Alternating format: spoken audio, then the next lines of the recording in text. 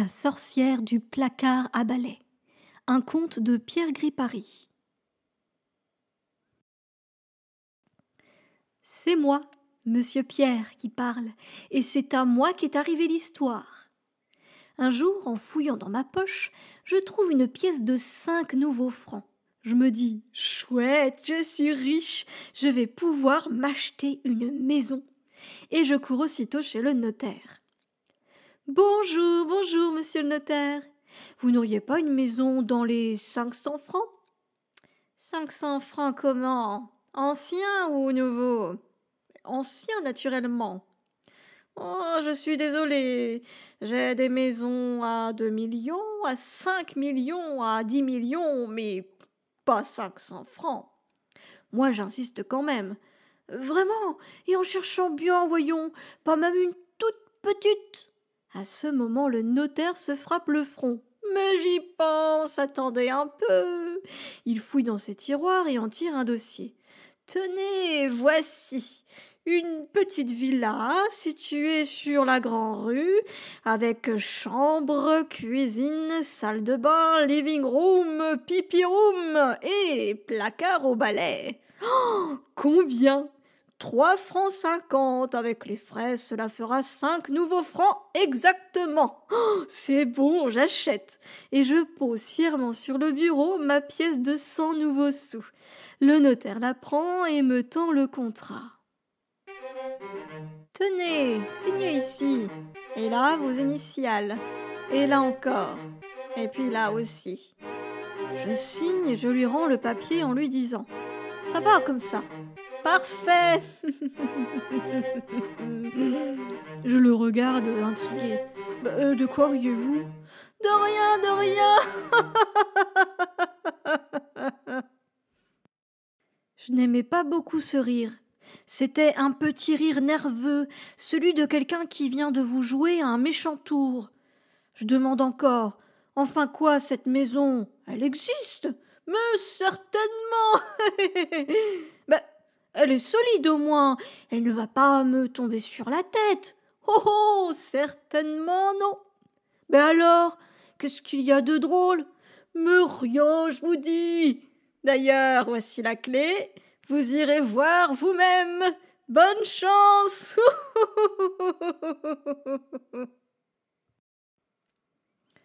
je prends la clé, je sors et je vais visiter la maison.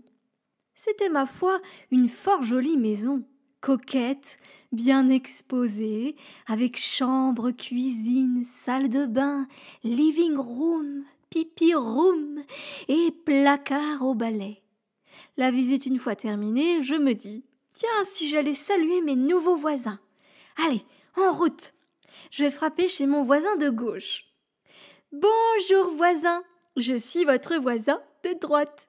C'est moi qui viens d'acheter la petite maison, avec chambre, cuisine, salle de bain, living room, pipi room et placard au balai. Là-dessus, je vois le bonhomme qui devient tout pâle. Il me regarde d'un air horrifié et, pan, sans une parole, il me claque la porte au nez. Moi, sans malice, je me dis Tiens, quel original Et je vais frapper chez ma voisine de droite. Bonjour voisine, je suis votre voisin de gauche. C'est moi qui viens d'acheter la petite maison avec chambre, cuisine, salle de bain, living room, pipi room et placard au balai. Là-dessus, je vois la vieille qui joint les mains, me regarde avec infiniment de compassion et se met à gémir. Oh, hélas, mon pauvre monsieur, ça avait bien du malheur. C'est-tu pas une misère, un gentil petit jeune homme comme vous? Enfin, peut-être pas que vous vous en sortirez. Tant qu'il y a de la vie, il y a de l'espoir, comme on dit, et tant qu'on a la santé. Moi d'entendre ça, je commence à m'inquiéter. Euh, mais enfin, chère madame, pouvez-vous m'expliquer à la fin? Toutes les personnes à qui je parle de cette maison Excusez-moi, mon beau monsieur, mais j'ai mon rôti au four. Il faut que j'aille voir si je veux point qu'il grâle. Et bon, elle me claque la porte au nez, elle aussi. Cette fois, la colère me prend. Je retourne chez le notaire et je lui dis euh, Maintenant, vous allez me dire hein, ce qu'elle a de particulier ma maison, que je m'amuse avec vous. Et si vous ne voulez pas me le dire, je vous casse la tête. Et en disant ces mots, j'attrape le gros cendrier de verre. Ah, cette fois, le type ne rit plus. Là, doucement, calmez-vous, cher monsieur, posez ça là, asseyez-vous. Parlez d'abord. Ben oui, je vais vous parler. Après tout, maintenant que le contrat est signé, je peux bien vous le dire. La maison est hantée. Hantée? Mais hantée par qui? Par la sorcière du placard au balai. Mais vous ne pouviez pas me le dire plus tôt? Oh non Si je vous l'avais dit, vous n'auriez plus voulu acheter la maison. Et moi, je voulais la vendre. Finissez de rire ou je vous casse la tête. C'est bon, c'est bon. Mais dites-moi, j'y pense. Je l'ai visité, ce placard au balai, il y a un quart d'heure à peine. Je n'y ai pas vu de sorcière. Hum.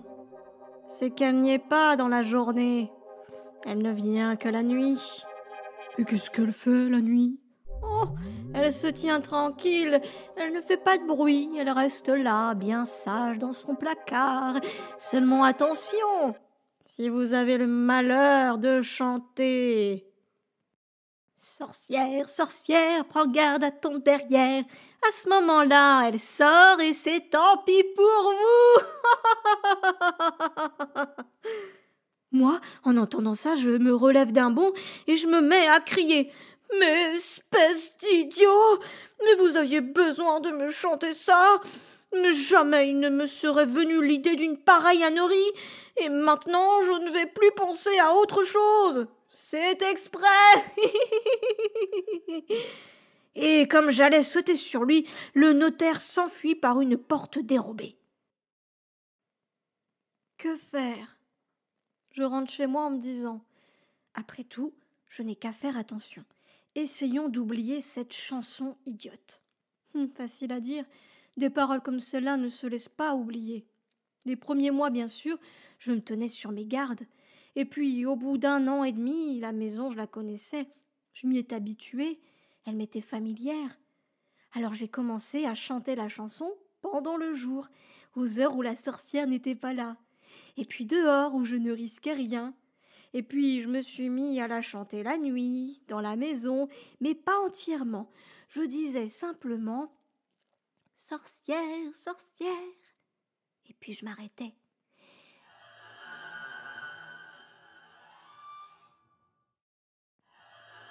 Il me semblait alors que la porte du placard au balai se mettait à frémir. Mais comme j'en restais là, la sorcière ne pouvait rien. Alors voyant cela, je me suis mis à en dire chaque jour un peu plus. Prends garde, puis prends garde à, et puis prends garde à ton, et enfin prends garde à ton der.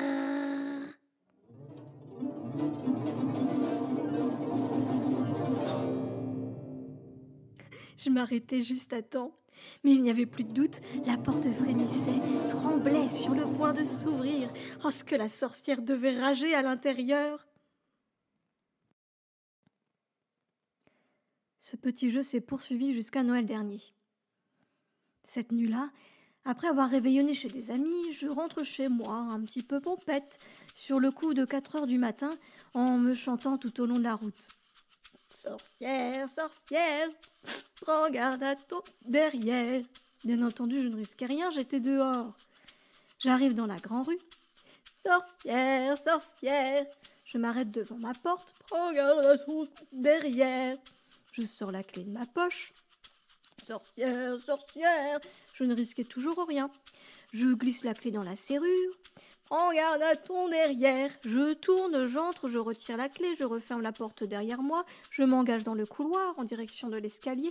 Sorcière, sorcière, prends garde à ton derrière. Zut Ça y était Oh, cette fois je l'avais dit Au même moment, j'entends tout près de moi une petite voix pointue, aigre et méchante. Ah, vraiment Et pourquoi est-ce que je dois prendre garde à mon derrière? C'était elle. La porte du placard était ouverte et elle était campée dans l'ouverture, le poing droit sur la hanche et un de mes balais dans la main gauche. Bien entendu, j'essaye de m'excuser. Oh, je vous demande pardon, madame. C'est un moment de distraction. J'avais oublié que, enfin, je veux dire, euh, j'ai chanté ça sans y penser. Sans y penser? Menteur Depuis deux ans, tu ne penses qu'à ça tu te moques de moi, n'est-ce pas Lorsque tu t'arrêtais au dernier mot, à ta dernière syllabe? Mais moi, je me disais patience, mon mignon. Un jour, tu la cracheras, ta petite chanson, d'un bout à l'autre. Et ce jour-là, ce sera mon tour de m'amuser. Et bien voilà, c'est arrivé Moi, je tombe à genoux et je me mets à supplier. Pitié, madame, ne me faites pas de mal. Je n'ai pas voulu vous offenser. J'aime beaucoup les sorcières et j'ai de très bonnes amies sorcières. Ma pauvre mère, elle-même était sorcière. Si elle n'était pas morte, elle pourrait vous le dire. Et puis d'ailleurs, c'est aujourd'hui Noël. Le petit Jésus est né cette nuit. Vous ne pouvez pas me faire disparaître un jour pareil. Taratata Je ne veux rien entendre mais puisque tu as la langue si bien pendue, je te propose une épreuve. Tu as trois jours pour me demander trois choses, trois choses impossibles. Et si je ne suis pas capable de te les donner, je m'en vais pour toujours. Et tu ne me verras plus. Allez, je t'écoute. Moi, pour gagner du temps, je lui réponds Ben, je sais pas, euh, je n'ai pas d'idée. Euh, oh, il faut que je réfléchisse. Euh, laissez-moi la journée. C'est bon, je ne suis pas pressée. À ce soir. Et elle disparaît. Pendant une bonne partie de la journée, je me tâte, je me creuse, je me fouille les méninges, et tout à coup, je me souviens que mon ami Bachir a deux petits poissons dans un bocal et que ces deux petits poissons, m'a-t-il dit, sont magiques. Alors, sans perdre une seconde, je fonce rue Broca et je demande à Bachir Tu as toujours tes deux petits poissons? Oui, pourquoi? Parce que dans ma maison, il y a une sorcière, une vieille, une méchante sorcière. Ce soir, je dois lui demander quelque chose d'impossible, sinon elle m'emportera. Tes petits poissons pourraient peut-être me donner une idée. Sûrement. Je vais les chercher. Il s'en va dans l'arrière-boutique, et puis il revient avec un bocal plein d'eau dans lequel nagent deux petits poissons, l'un rouge et l'autre jaune tacheté de noir. Oh, c'est bien vrai qu'ils ont l'air de poissons magiques. Je demande à Bachir. Allez, maintenant, parle-leur. Ah non, je ne peux pas leur parler moi-même. Ils ne comprennent pas le français. Il leur faut un interprète. Euh, je n'ai pas d'interprète. Ne t'en fais pas, moi j'en ai un. Et voilà mon Bachir qui se met à chanter. Petite souris, petite amie, viens par ici. Parle avec mes petits poissons et tu auras du saucisson. À peine a-t-il fini de chanter qu'une adorable souris grise arrive en trottinant sur le comptoir. Elle s'assied sur son petit derrière à côté du bocal et elle pousse trois petits cris comme ceci. Elle me dit qu'elle est prête. Je me penche vers la souris et je lui raconte tout le notaire, la maison, les voisins, le placard, la chanson, la sorcière et les preuves qu'elle m'a imposées.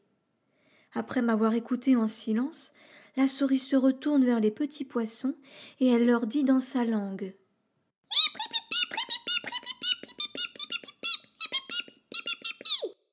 Et comme ça pendant cinq minutes. Après avoir eux aussi écouté en silence, les poissons se regardent, se consultent, se parlent à l'oreille, et pour finir, le poisson rouge monte à la surface de l'eau et ouvre plusieurs fois la bouche avec un petit bruit à peine perceptible.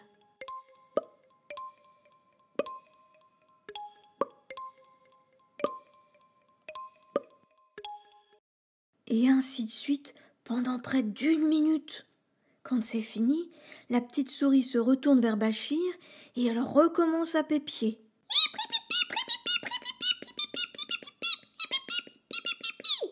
Qu'est-ce qu'elle raconte? Ce soir, quand tu verras la sorcière, demande-lui des bijoux en caoutchouc. qui brillent comme des vrais. Elle ne pourra pas te les donner. Je remercie Bachir. Bachir donne une pincée de daphnis au petit poisson, à la souris une rondelle de saucisson, et sur ce, nous nous séparons. Dans le couloir, la sorcière m'attendait. Alors Qu'est-ce que tu me demandes? Sûr de moi, je réponds. Je veux que tu me donnes des bijoux en caoutchouc qui brillent comme des vrais. Cette idée-là n'est pas de toi, mais peu importe. Les voilà. Elle fouille dans son corsage et en tire une poignée de bijoux, deux bracelets, trois bagues et un collier, tout ça brillant comme de l'or, étincelant comme du diamant, de toutes les couleurs, et mou comme de la gomme à crayon. À demain pour la deuxième demande. Et cette fois, tâche d'être un peu plus malin. Et hop, la voilà disparue. Le lendemain matin, j'emporte les bijoux chez un de mes amis qui est chimiste, et je lui dis Mais qu'est-ce que c'est que cette matière? Il s'enferme dans son laboratoire, et au bout d'une heure, il en ressort en me disant Oh, ça c'est extraordinaire, ils sont en caoutchouc. Je n'ai jamais vu ça. Tu permets que je les garde? Je lui laisse les bijoux et je retourne chez Bachir. Oh, les bijoux, ça ne va pas, je lui dis. La sorcière me les a donnés tout de suite. Alors, il faut recommencer. Il retourne chercher le bocal, le pose sur le comptoir et se remet à chanter. Petite souris, petite amie, viens par ici. Parle avec mes petits poissons et tu auras du saucisson. La petite souris accourt, je la mets au courant, elle traduit et puis elle recueille la réponse et transmet à Bachir.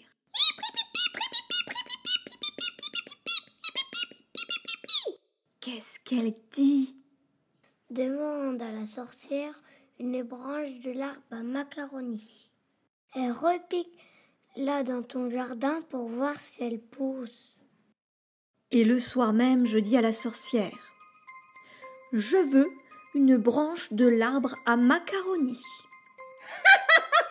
Cette idée-là non plus n'est pas de toi. Mais ça ne fait rien. La voilà. Et crac Elle sort de son corsage un magnifique morceau de rameau de macaroni en fleurs, avec une branchette en spaghetti, de longues feuilles en nouilles, des fleurs en coquillettes et même des petites graines en forme de lettres alphabet. Oh, je suis bien étonnée, mais tout de même j'essaye de chercher la petite bête. Oh, mais ce n'est pas une branche d'arbre, ça. Ça, ça, ne repousse pas. Crois-tu? Eh bien, pique-la dans ton jardin et tu verras. Et à demain soir.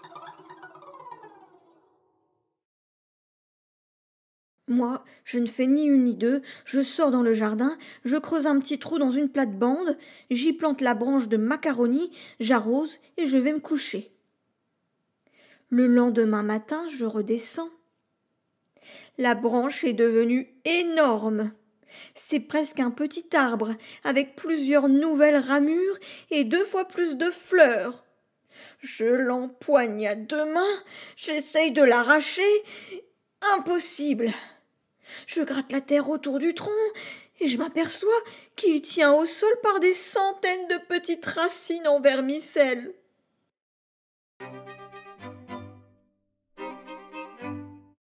Cette fois je suis désespérée.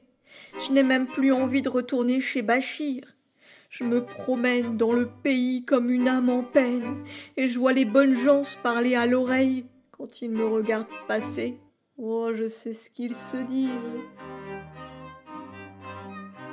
Pauvre petit jeune homme, regardez-le. C'est sa dernière journée, ça se voit tout de suite. La sorcière va sûrement l'emporter cette nuit.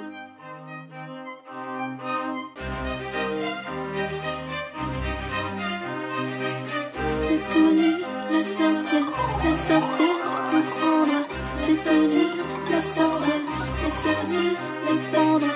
Cette nuit, la sorcière, la sorcière me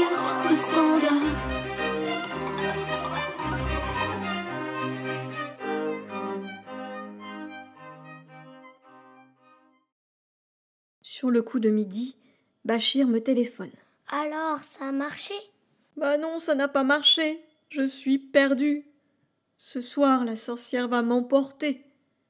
Adieu, Bachir. Mais non, rien n'est perdu.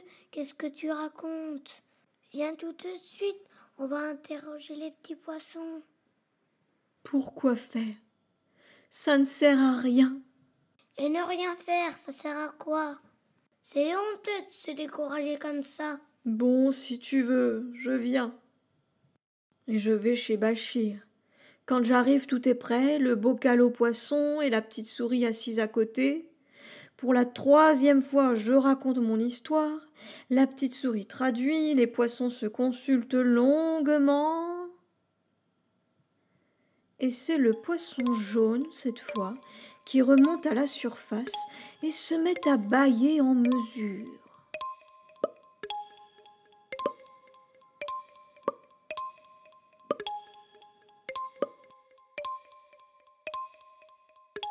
Pendant près d'un quart d'heure, la souris à son tour se retourne vers nous et fait tout un discours qui dure bien dix minutes. Mais qu'est-ce qu'ils peuvent bien se raconter? Écoute bien et fais très attention, car ce n'est pas simple. Ce soir, en retournant chez toi, demande à la sorcière qu'elle te donne la grenouille à cheveux. Elle sera bien embarrassée car la grenouille à cheveux c'est elle. Et la sorcière n'est rien d'autre que la grenouille à cheveux qui a pris forme humaine. Alors, de deux choses l'une.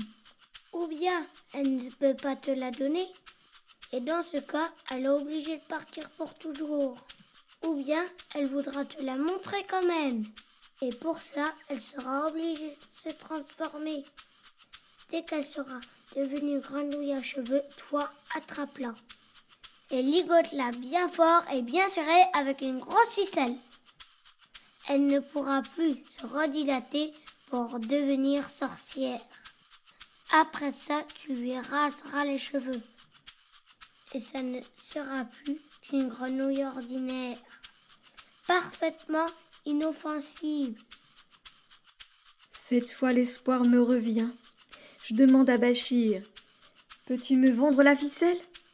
Bachir me vend une pelote de grosses ficelles, je remercie et je m'en vais. Le soir venu, la sorcière est au rendez-vous.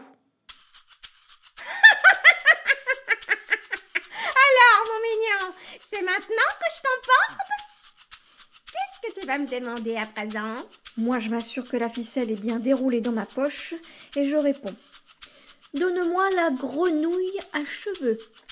Quand cette fois la sorcière ne rit plus, elle pousse un cri de rage. Hein? Quoi? Cette idée-là n'est pas de toi Demande-moi autre chose Mais je tiens bon. Et pourquoi autre chose? Je ne veux pas autre chose. Je veux la grenouille à cheveux. Tu n'as pas le droit de me demander ça Oh, tu ne peux pas me donner la grenouille à cheveux je, je, je, je peux, je peux, mais ce n'est pas du jeu. Ah, alors tu ne veux pas Non, je ne veux pas. En ce cas, retire-toi. Je suis ici, chez moi. Ah, c'est comme ça. Eh bien, la voilà, puisque tu l'as vue, ta grenouille à cheveux. Et je la vois qui se ratatine, qui rapetisse, qui rabougrit, qui se dégonfle et se défait comme si elle fondait, tant et si bien que cinq minutes après, je n'ai plus devant moi qu'une grosse grenouille verte avec plein de cheveux sur la tête qui se traîne sur le parquet en criant comme si elle avait le hoquet.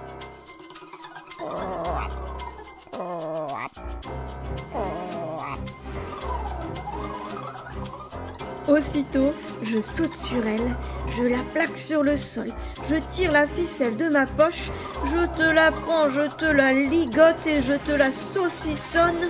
Elle se tortille, elle étouffe presque. Elle essaie de se regonfler, mais la ficelle est trop serrée. Elle me regarde avec des yeux furieux en hoquetant comme elle peut.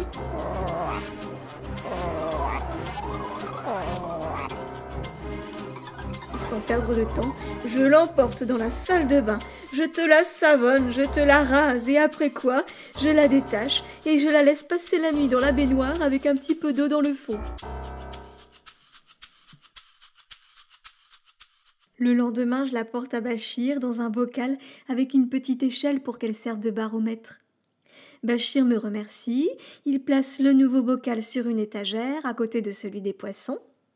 Et depuis ce temps-là, les deux poissons et la grenouille n'arrêtent pas de se parler.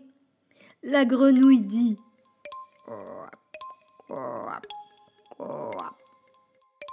Et les poissons font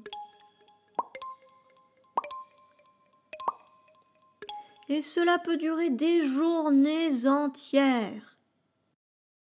Un beau jour, j'ai demandé à Bachir Et si tu appelais ta petite souris, qu'on sache un peu ce qu'il se raconte?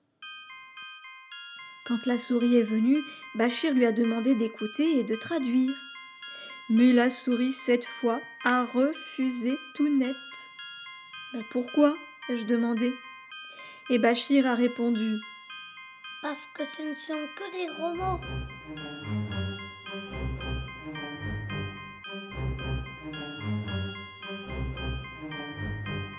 Voilà l'histoire de la sorcière. Et maintenant, quand vous viendrez me rendre visite, soit de jour, soit de nuit, dans la petite maison que j'ai achetée, vous pourrez chanter tout à votre aise. Sorcière, sorcière, prends garde à ton derrière. Je vous garantis qu'il n'arrivera rien.